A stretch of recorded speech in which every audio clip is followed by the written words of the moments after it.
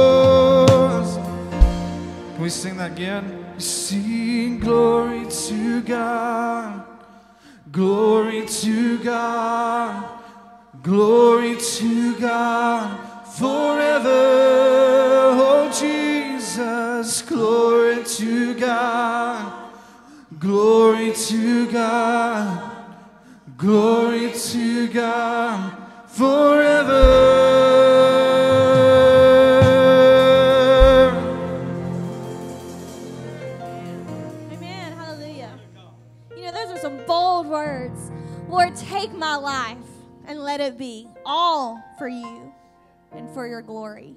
You know, when we sing those words, I hope we mean it. That all of our life can be for the glory of the Lord, not just some of it or the Sunday part or the Wednesday part, but that Sunday to Sunday, Monday to Friday, in the good times and in the bad. Lord, let my life be only for your glory. Amen. Amen. We're so happy that you're here with us today. Welcome to Real Hope. We hope that you feel um, loved by Christ and by us today. And it's a special day today. We're going to celebrate our children's ministries today. It's a special day today because it's Memorial Day weekend. And I want to take this moment to say thank you to the families of our military or to those who have served the military. We literally would not be here without you and the grace of God. So we are thankful. Yes, let's give them a hand. We are thankful for your service to our country and that we can have the freedom to stand here and say glory to God. Glory to Jesus Christ. That's who our country was founded on. Amen. Amen. If you will, let's cross the aisles. Let's say good morning. Let's hug some necks. Let's spread the love and the joy and the hope that is Jesus Christ. Amen.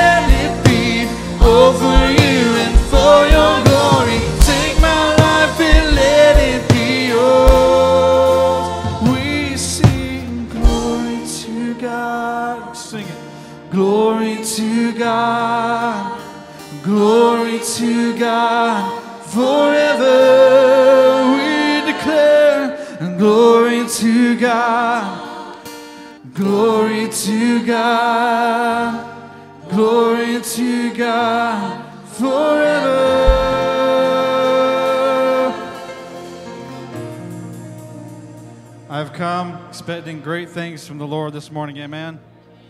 Let's just go ahead and give the Lord a hand clap of praise because I know He is here. I'll continue to worship with us this morning.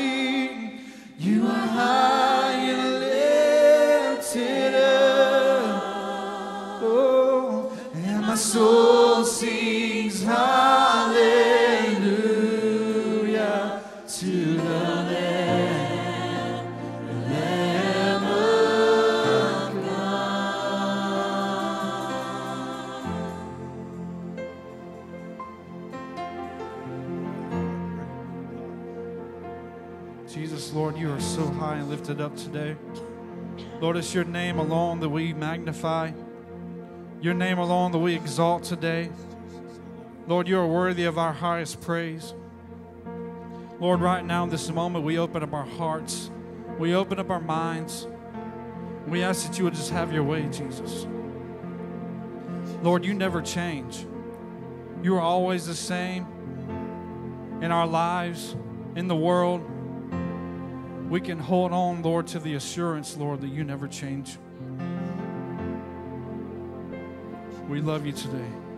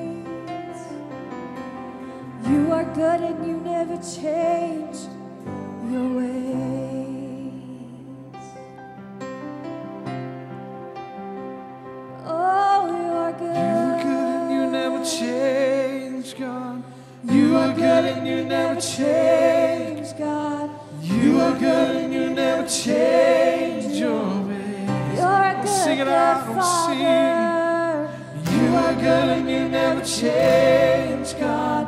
You are good and you never change, God. You are good and you never change your. If you believe that, sing it. You are good and you never change, God. You are good and you never change, God.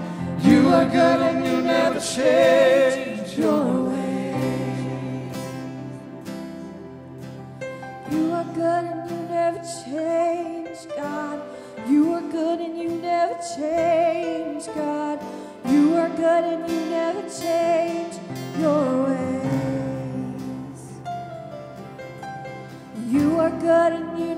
change your ways.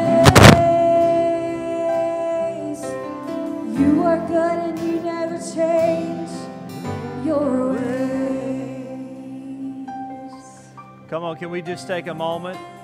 Oh. Thank you, Jesus. Thank you, Father. We sang yesterday. Thank you, God, that you never change. God, in every circumstance that we have to deal with here, there's one constant that remains the same, and that is you. You never, ever change. No matter how we feel, no matter what we're going through, no matter how difficult things may seem in our life, God, you never change. You've been the same since what we can read from Genesis 1 1 until the end of Revelation and the end of time. You never change. You never change your perspective. You never change your power. You never change your love, God. You never change. We thank you for that this morning. We honor you this morning in this place, God, that you are constant, that you are the same. God, in a season, in a time of our country and, our lives, when there's so many changes happening around us, when there's so many things, God, that we look at and we, we have a viewpoint of, God, There's so many things that can even be confusing in our life. God, the one thing that we can know for sure is that you never change. You're always the same. And this morning we honor you for that. And we give you praise and we give you thanks. Come on, can you praise God in this place this morning? You are good. You never change. Never, ever changes. Excuse me. Welcome to God's house this morning on this great Memorial Day when we honor those who have sacrificed their lives ahead of us, those who have, have died for the cause of our freedom, uh, the freedom to even be in this house today and to, to worship freely.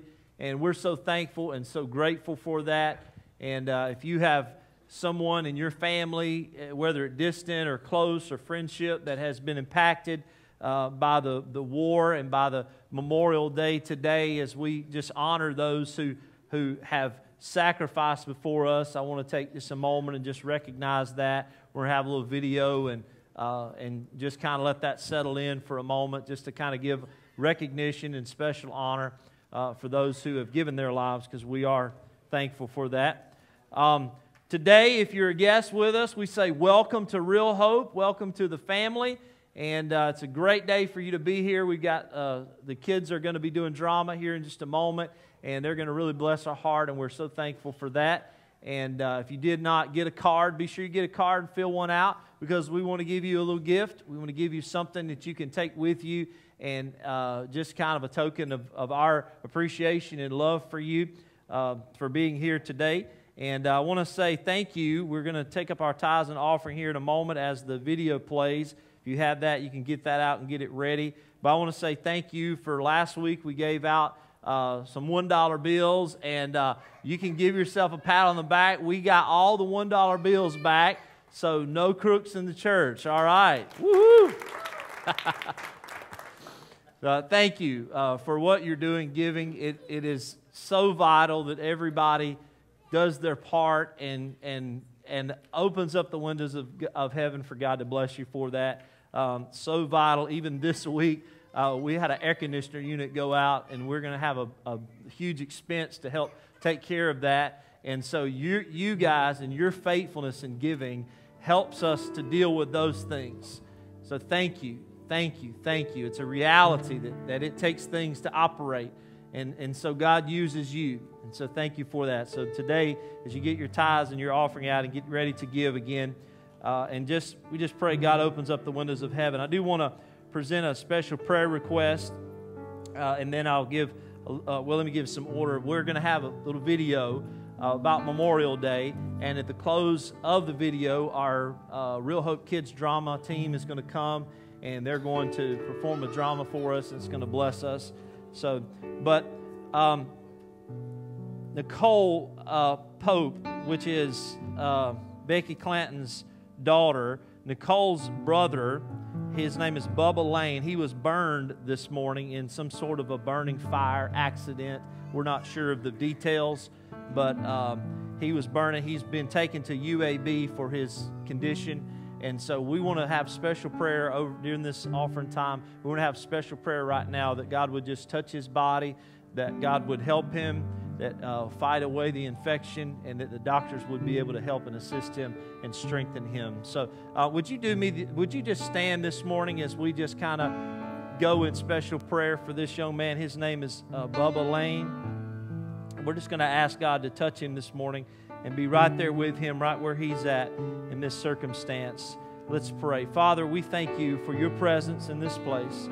God, we call this place to order in one mind and one accord for this young man, Bubba Lane. God, we ask you, Lord, to touch his body right now. Father, that you bring complete healing to his body.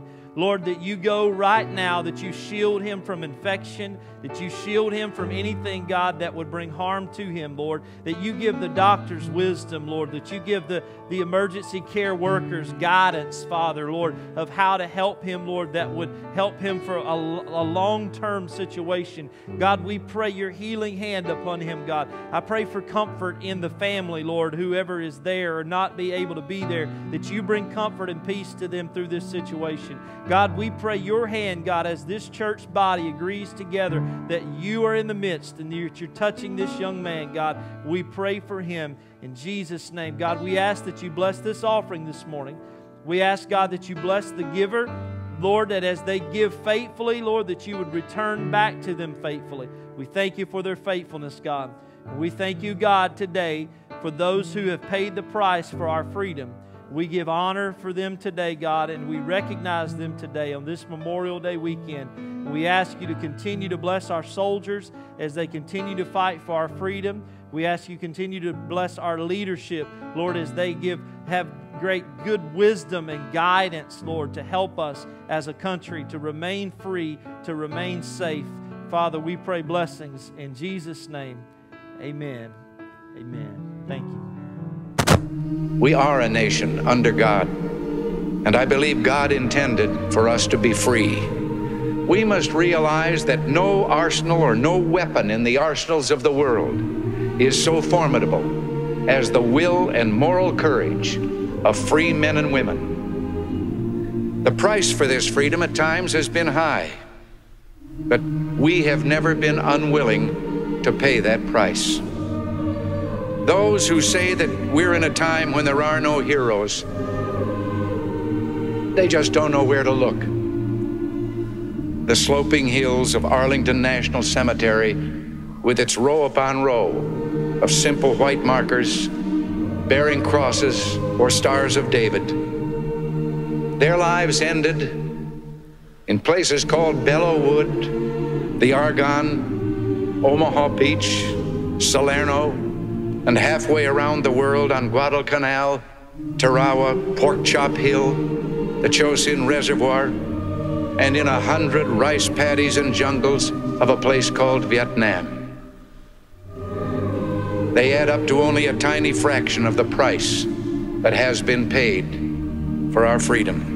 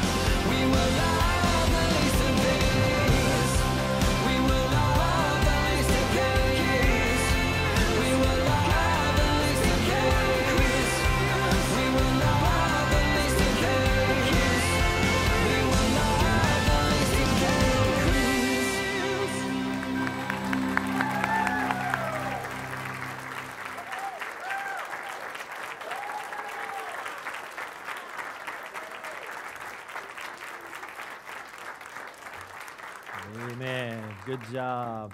Awesome. When we love the least of these, isn't that important that we love the least of these? That is very important to love the least of these. I'm going to do something this morning, and uh, I'm going to, Jesse, I want you to help me. I need a microphone. Uh, if you'll get me whichever one I need, because I'm going to do something a little bit different this morning. And uh, I'm going to need some support. I'm going to need a couple of helpers to kind of help me put this in perspective. I need a, a volunteer. Let's see who I'm going to get right here. Somebody that wants to volunteer. Somebody that is just looking to be a great volunteer. Um, who wants to be a volunteer? You want to be a volunteer? Come on up here. Run up here. His name's Connor. Everybody give it up for Connor.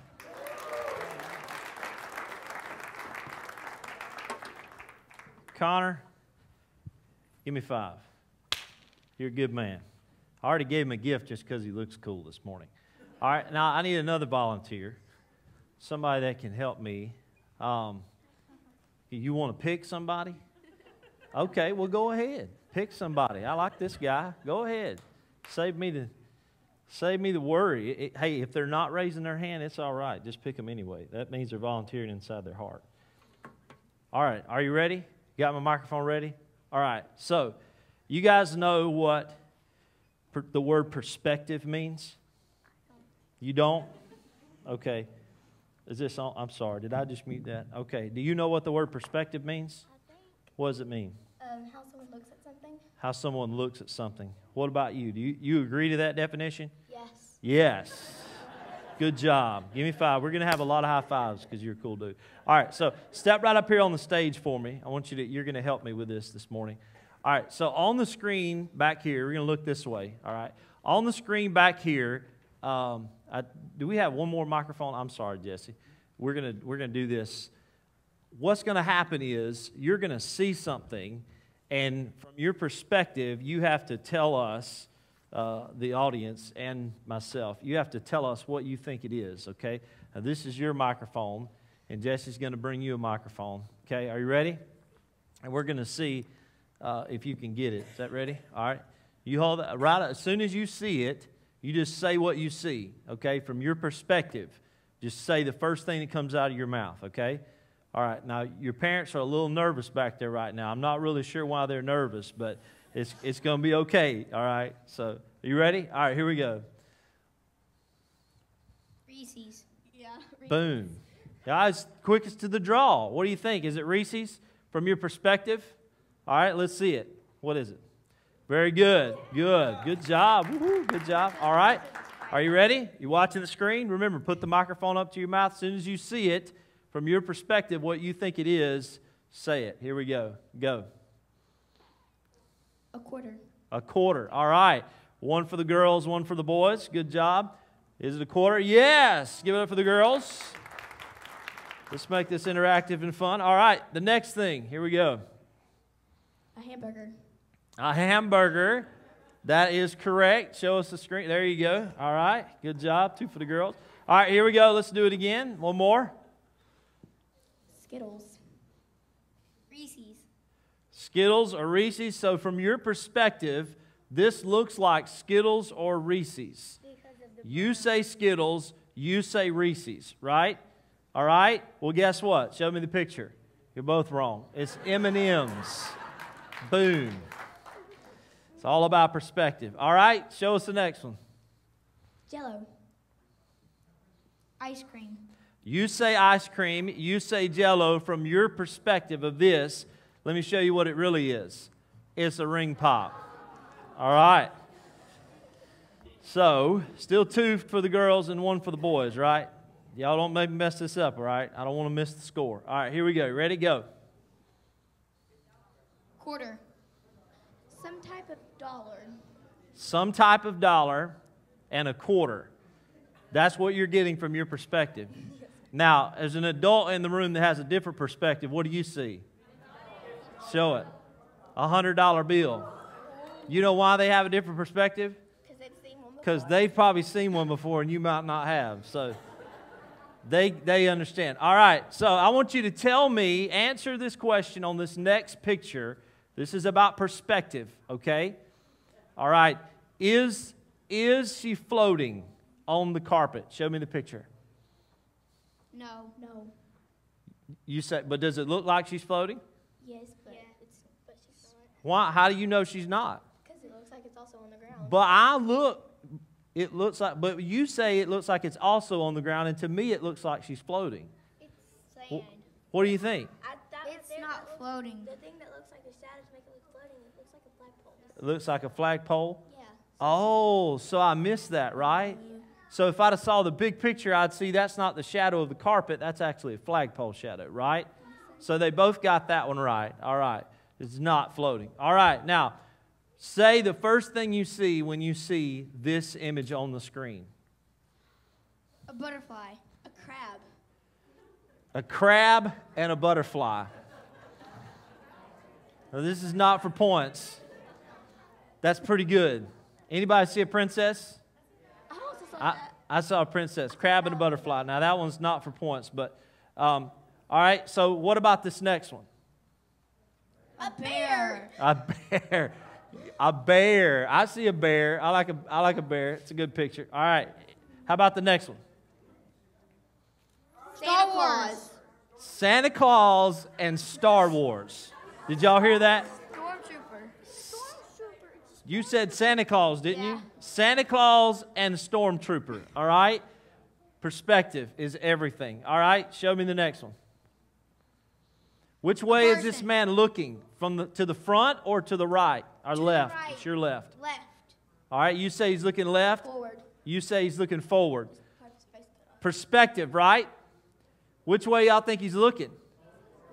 Well, look at his shirt. His shirt defines the fact that he's actually looking forward and they've cut out part of the picture. If he were looking to, the, to that way, his shoulder would not be here, it'd be his back. That's what I say. All right, so what did you say? Did you say forward or left? You all right? So that's one for the girls. All right, all right. Uh, let's see. And why? Tell me exactly what you see when we show you this image. Eye. A drain. You see a drain. You see an eye. Guess which one it is? A drain. It's a drain. If you look real close, that's a bubble up there.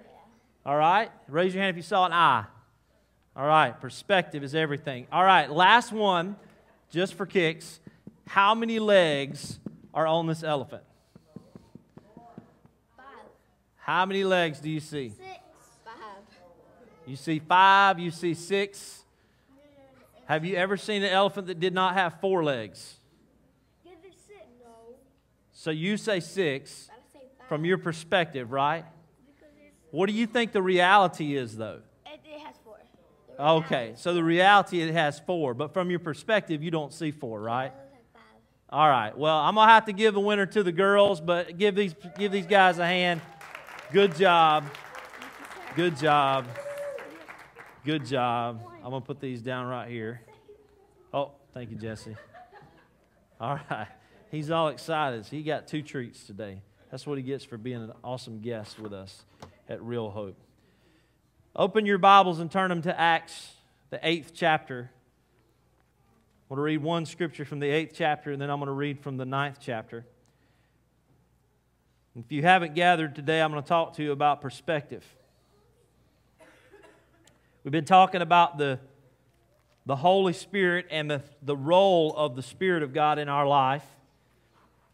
And last week we talked about how the Spirit first gets to our heart, and then He gets from our heart, He, he goes out into our hands, He gets into our lifestyle, and we bear fruit in our life because of what the Holy Spirit does in us. And so today, if you will, for a few moments, I want to talk to you about the idea of an empowered perspective. An empowered perspective. And as you're turning there in Acts chapter 9, I want to read you a little letter from a young lady who wrote home from college. And maybe some of you can relate to this. And it says this Dear mom and dad, everything is okay and going fine. Well, almost everything. I've had severe headaches since I jumped out of the dorm window during the fire.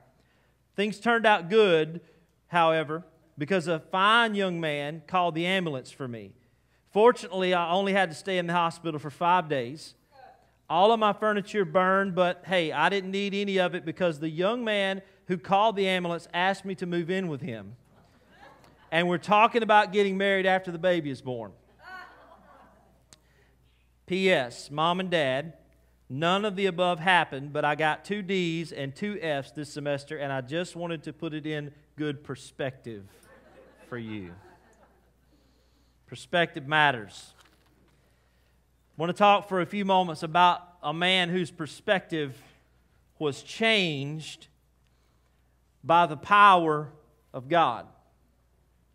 A man whose perspective was changed by the moment that he saw God and experienced God, something changed in him. And this guy's name is Saul. And Saul, as we are looking at the, we looked at the day of Pentecost a couple of weeks ago, and we talked about these occurrences that happen after the outpouring of the Holy Spirit and how the church began to grow and what the church was doing was proclaiming Jesus Christ. They, were going around um, helping people find Jesus. But the religious leaders, those who were of the Jewish sect that did not believe that Jesus was the Son of God, those who believed the lie that he was a false prophet, they were trying to stomp out the church and stomp out everybody who was trying to build up Jesus. And so we first find this man named Saul in this, um, in Acts chapter 8, actually, we see where he was present at the stoning of Stephen. Stephen was stood for Jesus Christ, and they took Stephen out and they literally stoned him to death. They beat him and they moved in on him. And we read Saul's name here for the first time because the men who killed Stephen, it says that they were there and they laid their coats at the feet of a young man named Saul. So we know that Saul was present when Stephen was killed for the sake of Jesus Christ. And then we move into uh, Acts chapter 8 and verse 3, and we see what Saul did. That one verse says, But Saul began to destroy the church, going from house to house. He dragged off both men and women and he put them in prison. This guy was dead set on destroying the church. That was his whole goal. He did everything he could to tear down anyone who stood for Jesus Christ. And then we see what happens to him in Acts chapter 9, beginning with verse 1. And we read this Meanwhile, Saul was still breathing out murderous threats against the Lord's disciples. He went to the high priest and he asked for letters of the synagogues in Damascus so that if he found any there who belonged to the way, now the way is what they said that Jesus is the way. So the, this group of people was defined to them as the, the new way through Jesus. Whether it was men or women, that he might take them as prisoner to Jerusalem as he neared Damascus on his journey. Suddenly, a light from heaven flashed around him. He fell to the ground and he heard a voice say to him, Saul, Saul, why do you persecute me? Saul answered, Who are you, Lord? He said, I am Jesus whom you are persecuting. Now get up and go into the city, and you will be told what to do. The men traveling with Saul stood there speechless, and they heard the sound, but they did not see anyone. Saul got up from the ground, but here's probably to me one of the most profound facts about this story. He got up from the ground, he opened his eyes, and he could see nothing. Now, before his experience with Jesus, he could see, but what Jesus did is blind him so he could not see. So they led him by hand into Damascus for three days, and he was blind. He did not eat or drink anything. In Damascus, there was a disciple named Ananias. The Lord called to him in a vision, and he said, Ananias, yes, Lord. The Lord told him, Go to the house of Judas on Straight Street and ask for a man from Tarsus named Saul, for he is praying. And in a vision, he has seen a man named Ananias come and place his hands on him to restore his what? Sight, so that he can see again. And this is what Ananias said because Ananias knew who Paul was. He knew the person that Paul was. He knew the perspective that Paul had. He knew exactly Paul's intent because or Saul because Saul had been a murderous guy trying to kill everybody from the way of Jesus.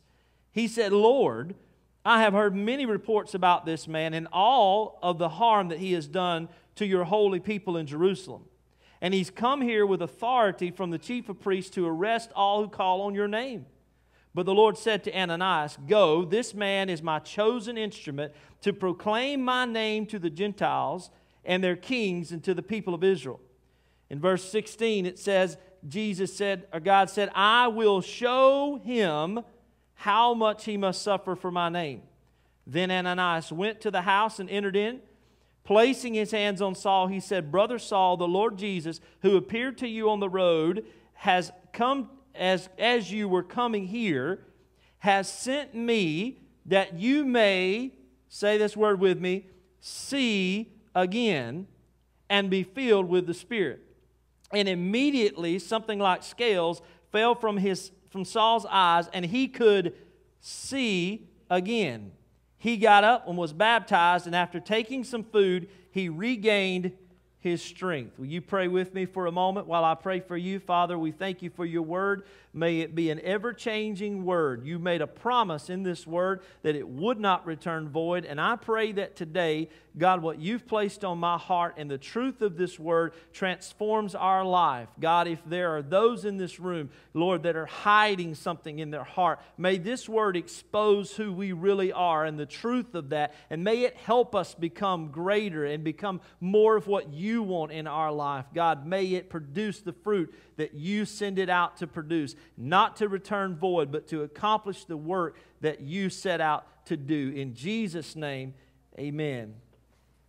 This morning, we look at Saul when he was converted by Jesus Christ, something changed about him. And what was remarkable in this change was that it had to do with his sight, his perspective, the way he looked at things, the way he saw things. Many people look at Saul and Paul and they say that he changed his name to Paul. But when you study it, the reality of this is that he didn't change his name. He actually had two names.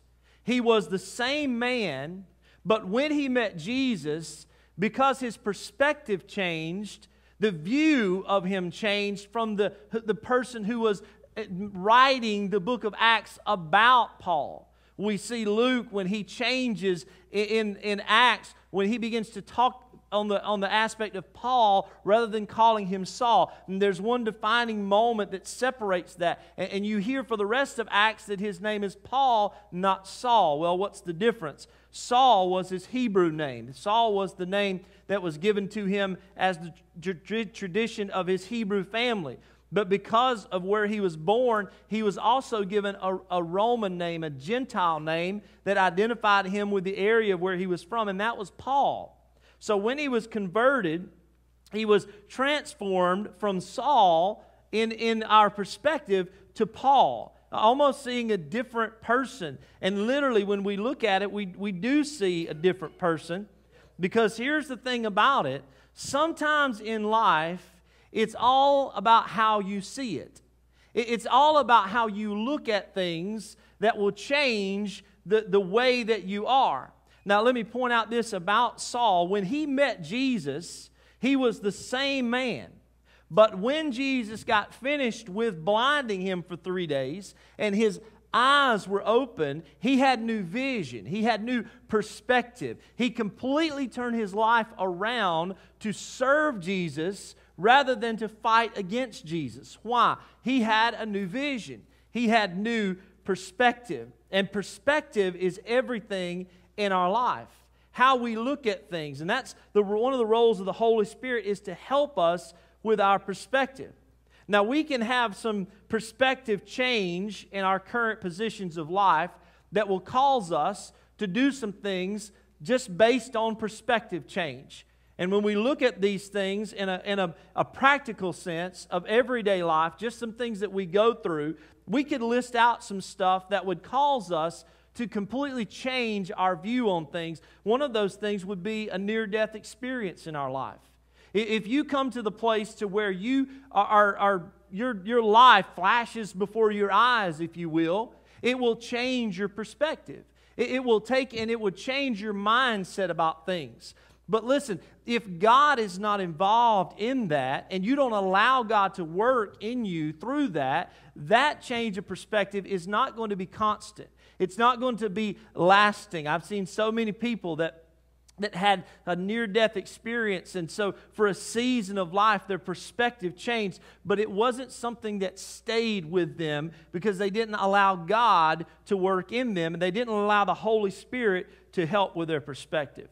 We look at perspective change, we think of things like the death of a family member will often help us to change our perspective to see things a little different. Um, with my kids, I have these things. I don't know if y'all ever had this with your kids, but we call them come to Jesus meetings. Anybody ever had one of those with your kids, your family?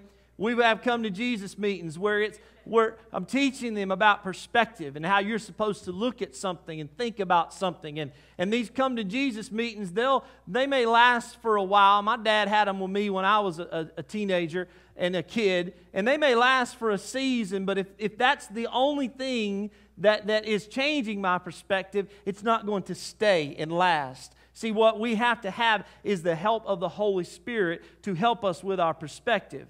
You want to get new perspective, go on a missions trip.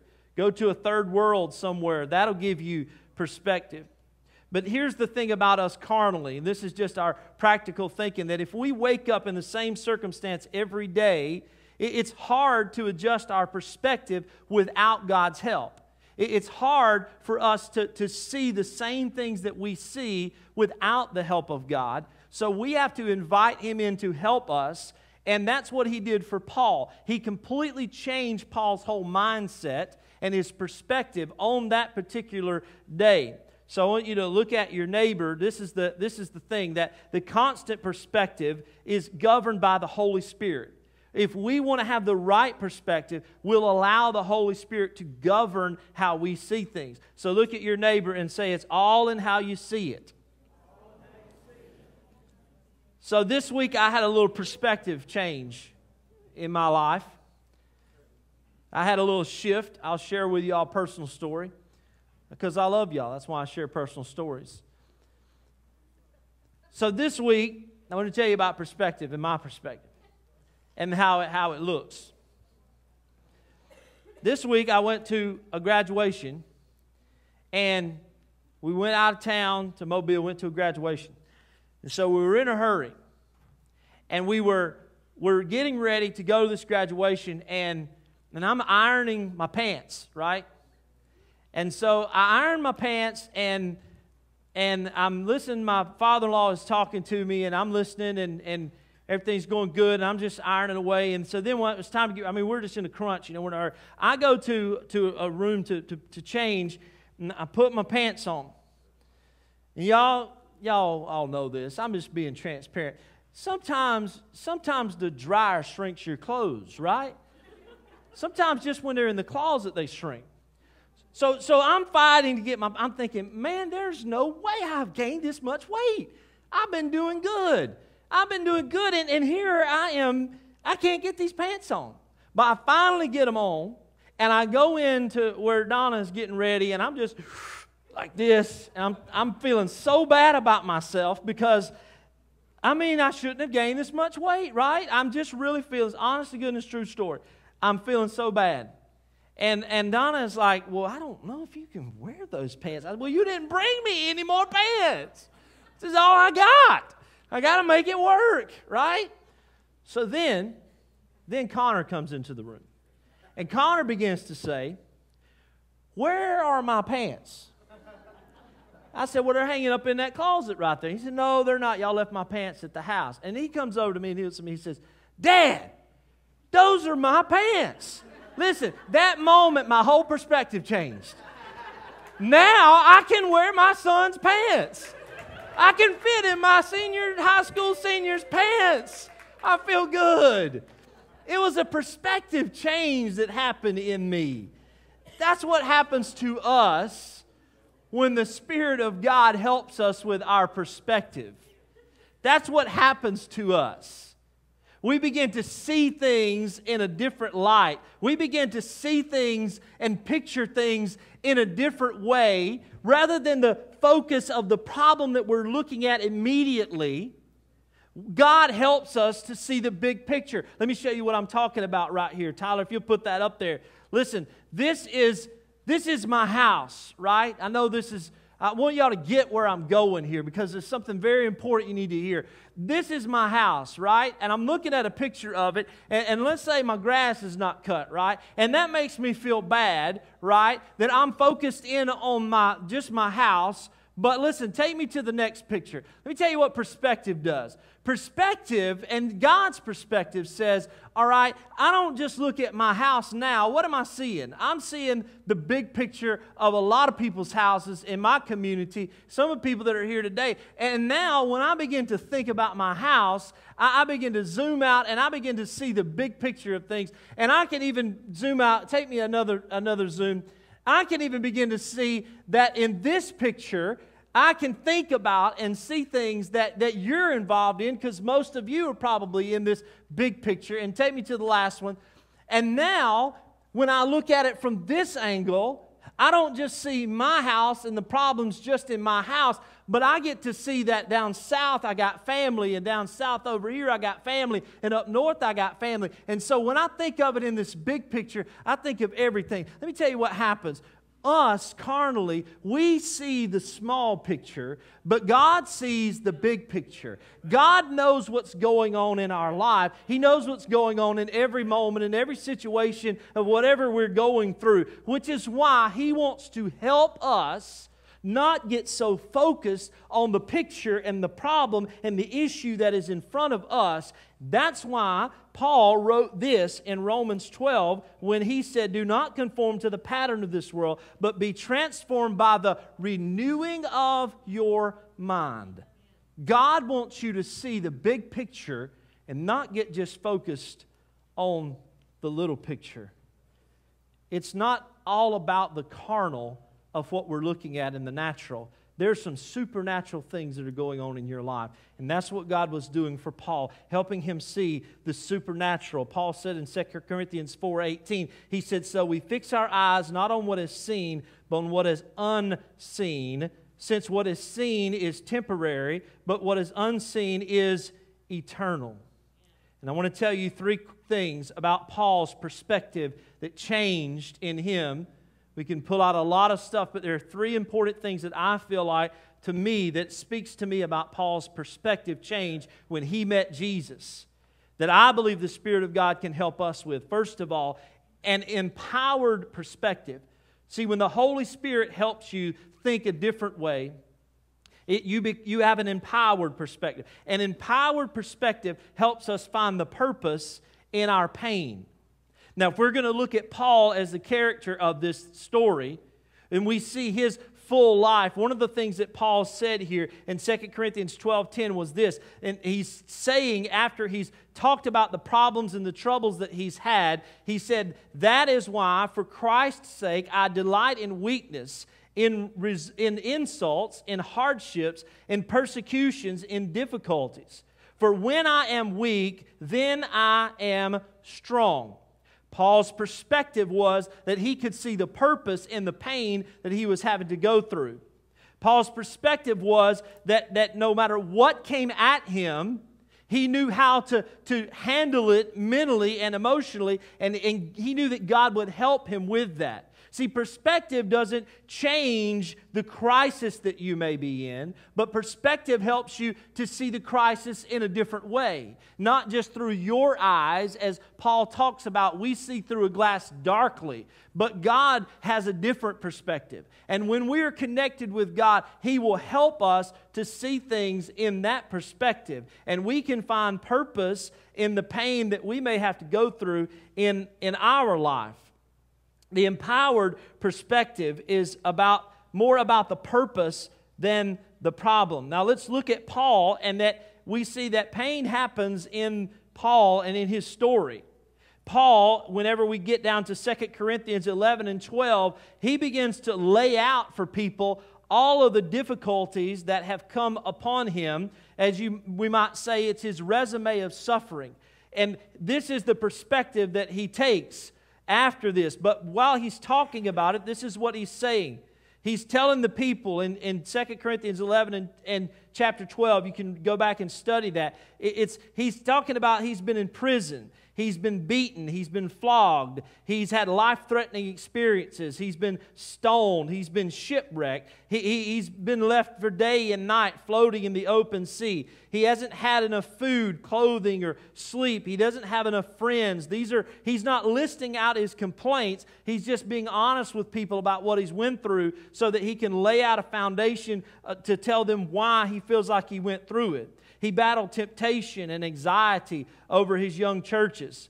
And now Paul says to them, There is a thorn in my flesh. He reveals to them this thorn in his flesh that, that God has, has seemed like has put there. But it was something so bad that Paul described it as a messenger from Satan himself. How many of you ever felt like something happened to you and you just say, This is straight from the devil? He's done this to me. And that's what Paul felt like. But let me tell you what his perspective was. He understood the, that crisis happens. He understood that pain happens, but he also understood that based on his experience with God, that his perspective could change.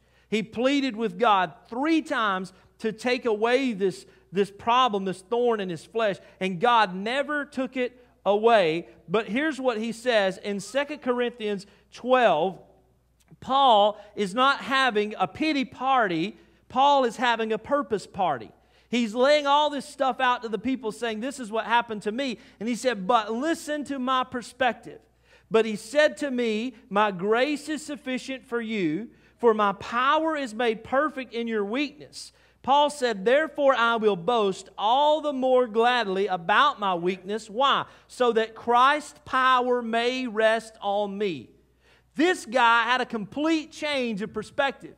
He wasn't whining about what was going on. What he was saying was, because these things happen to me, God's able to sustain me.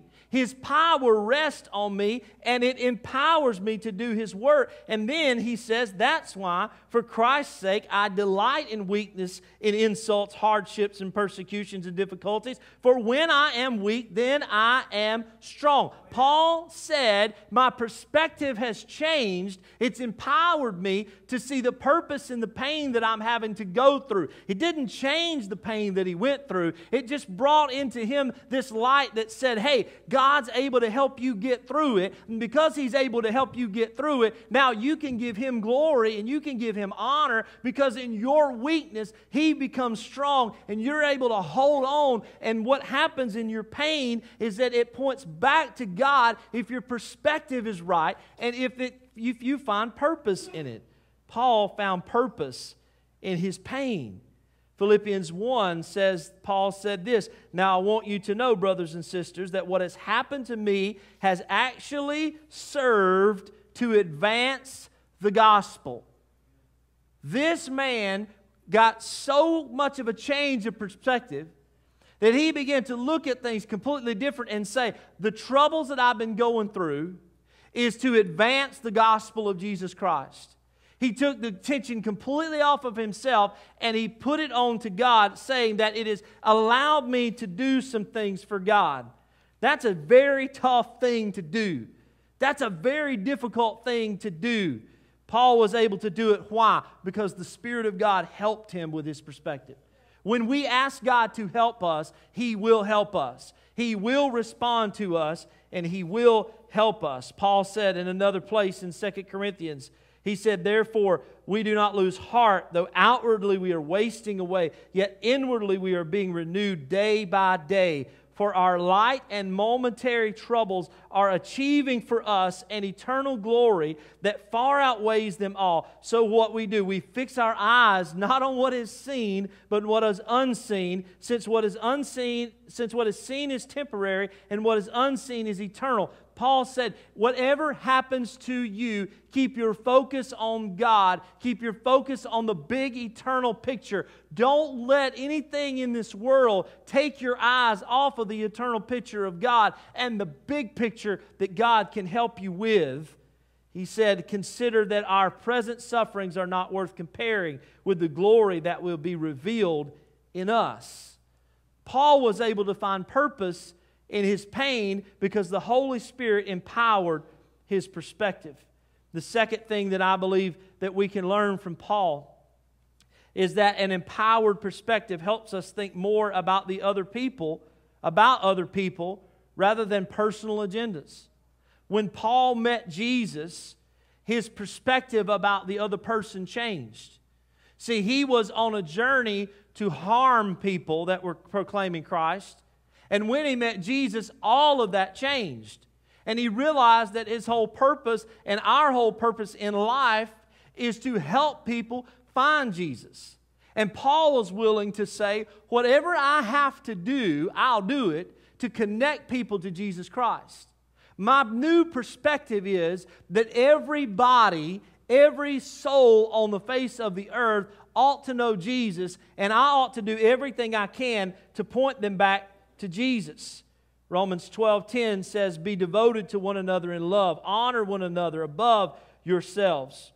Romans 15, we read this, we are strong we who are strong ought to bear with the failings of the weak and not to please ourselves. Each each of us should please our neighbors for their good to build them up.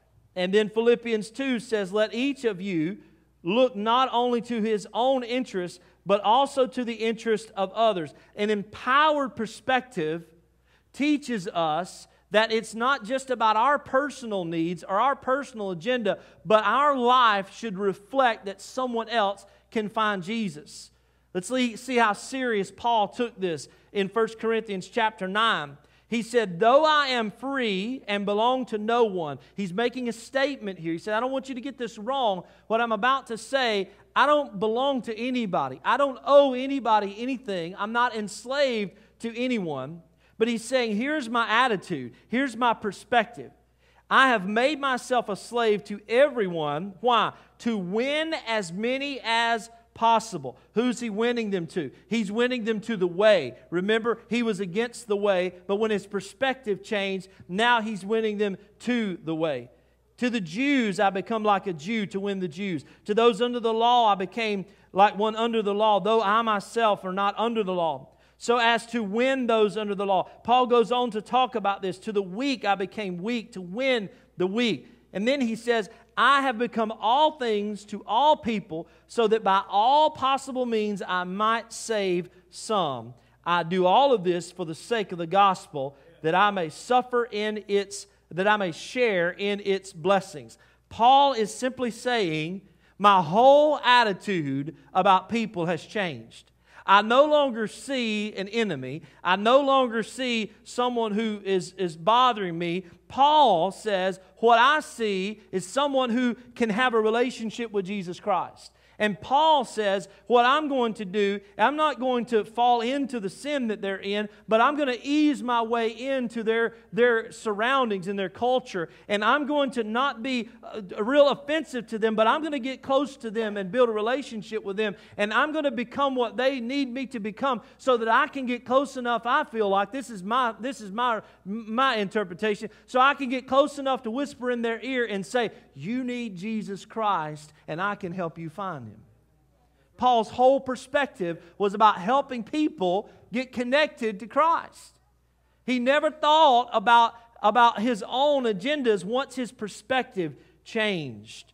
We look at the story of, of Paul whenever they were in prison, Paul and Silas. And we look at this story that most of us know that they were in prison and, and they begin to praise their way out of prison. And the reason they were in prison was sharing the gospel of Jesus. And at the moment at midnight when they were praising and the prison shook and the walls fell down, the shackles were loose, and Paul and Silas were free to go. That moment they could have ran for the hills, ran for the gates, gotten out of town. Why? Because that's why they were in prison in the first place to preach the gospel. But what did they do? they stopped to help the jailer. Why? Because Paul said, It ain't about me, it's about me connecting other people to Jesus Christ. Yeah. And I will stop at whatever cost. I will live in whatever way I need to live to make sure that no one is offended in Jesus Christ and everyone is built up in Jesus Christ and everyone sees Jesus Christ in me so they can find Jesus Christ. And when he stopped that night, the jailer was saved and Paul looked at him as he was about to take his life and said, Don't harm yourself. We are all here. Why? Because Paul's perspective changed. He saw people different than he saw before he met Jesus. When our perspective becomes empowered by the Spirit of God, our whole life will be about helping others connect to that same Spirit and connect to Jesus Himself. When it happens to us, remember, He helps our heart which works through our hands. But today we're talking about the fact that He moves into our mind. He transforms what we see, how we think about people, the actions that we take. We base them on perspective. And if I do this, will it do that? If I act this way, will it act that way? Everything that we do, once we're empowered by God, points back to God. And the last thing is this an empowered perspective, I believe Paul teaches us, reminds us that the power of God is in our possession. The power of God is in our possession. Look at Ephesians chapter 3, verse 20. Paul said, Now to him who is able to do immeasurably more than we all, more than all we ask or imagine, according to what? His power that is at work within us. When God empowers our perspective, it reminds us of His power and that His power is in our possession. That He is at our beckoning call and request that we have for Him. It reminds us that we are stronger than our carnal bodies will allow that we're stronger than our physical bodies and minds will allow. It reminds us of how great God is and how capable He is of helping us get through situations and circumstances in our life. Romans 8 says, What then shall we say in response to these things? Paul said, If God is for us, who can be against us? When the Spirit of God empowers our perspective, we begin to see things through the power of God. We begin to look at things and say, hey, I know that looks really big, but let me remind you of what God's already done for me. I know that little image of my house looks troubling, but what God allows me to see is the big picture of the community and other people's lives and what He's already done for this one and already done for that one and already done for that one. And that same power of God that's, that's Him that worked in your neighbor is the same power that will work for you. Listen, the same power of God that got your neighbor a job when he needed a job or your friend beside you a job, that's the same God that will help you get a job. The same power that helped heal somebody that's sick in your family, that's the same God. We all have a different perspective, but He's the same God, and He's able to do for you exactly what you asked. And when He empowers your perspective, it opens your mind up to remember that He is powerful and He is able to do anything that we ask of Him.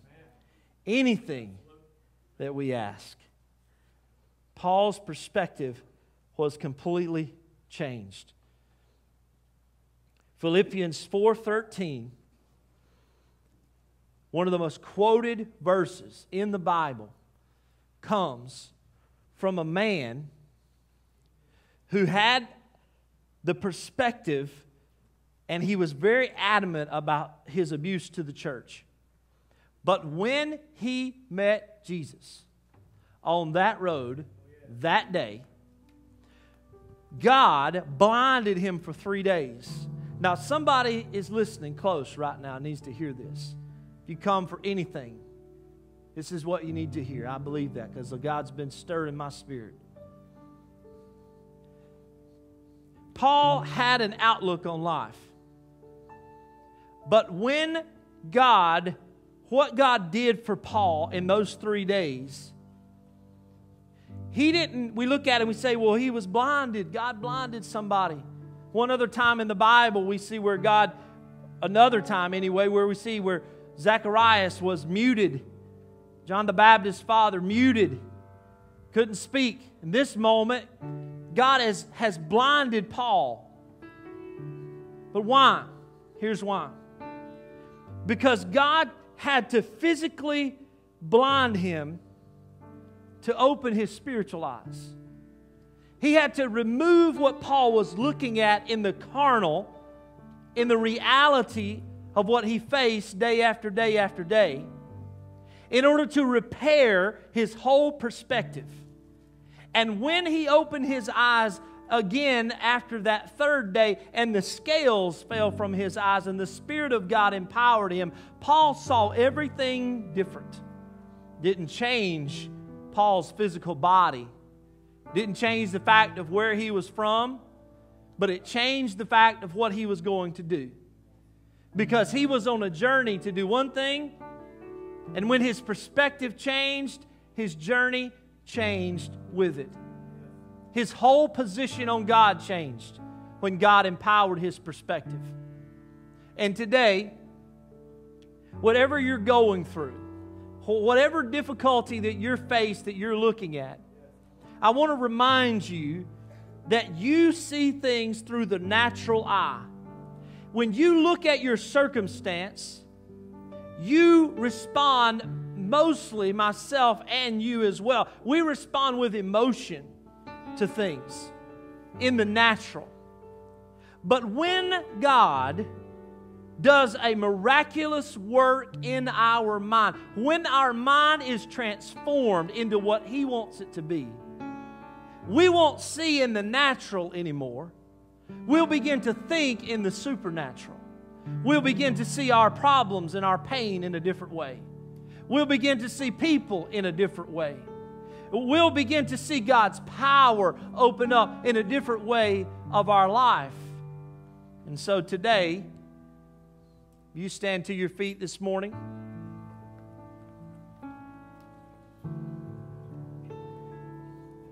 This man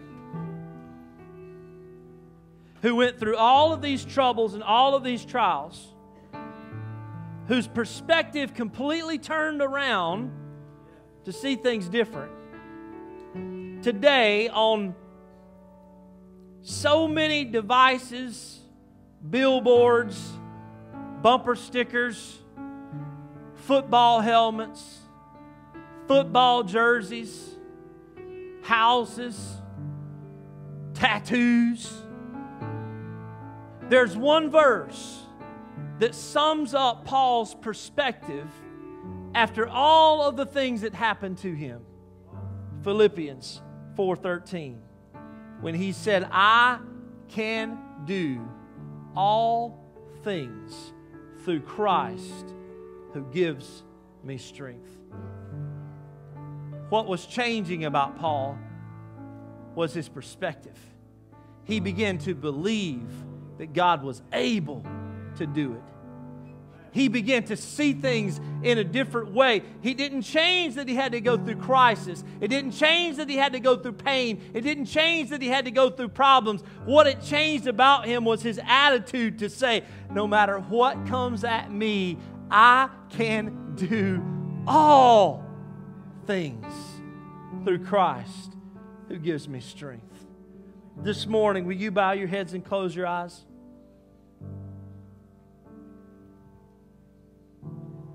Maybe you're here today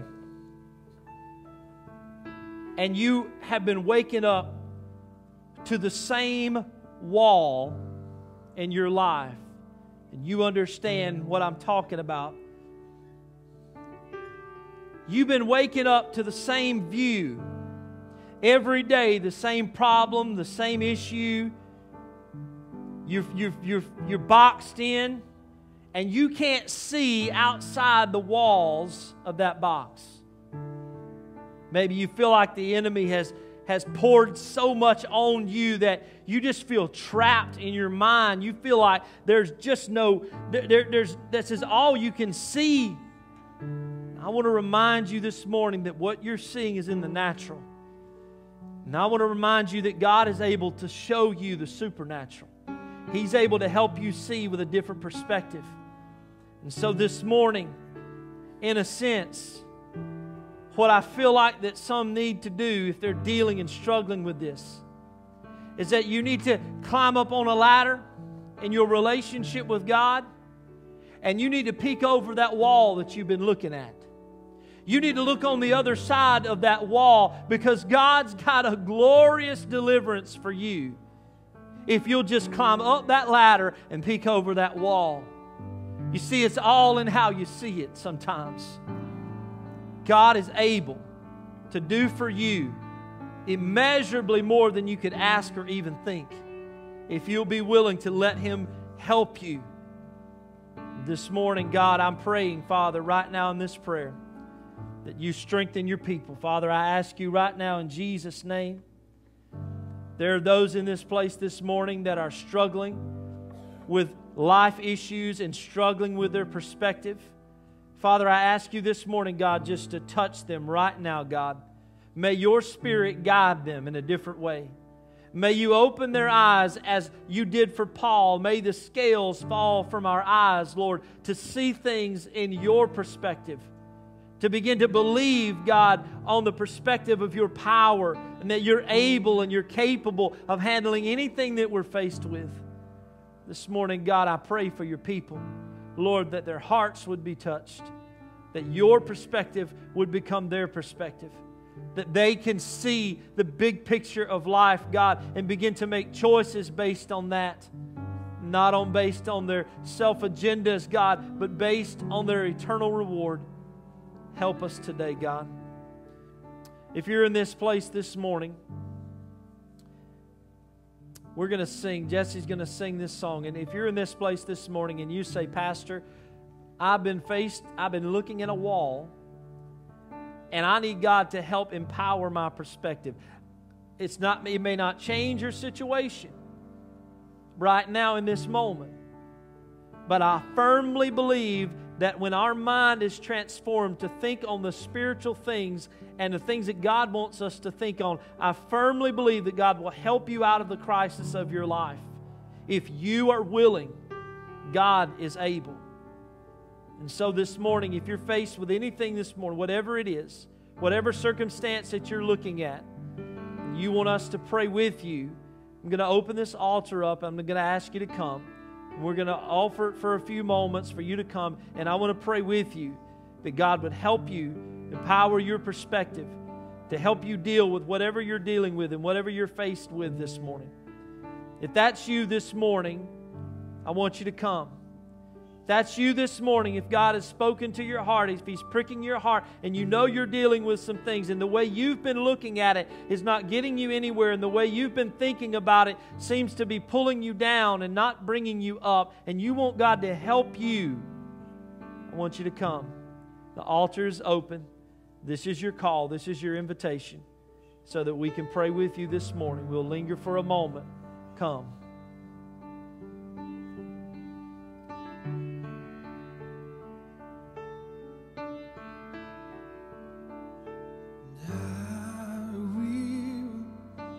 there.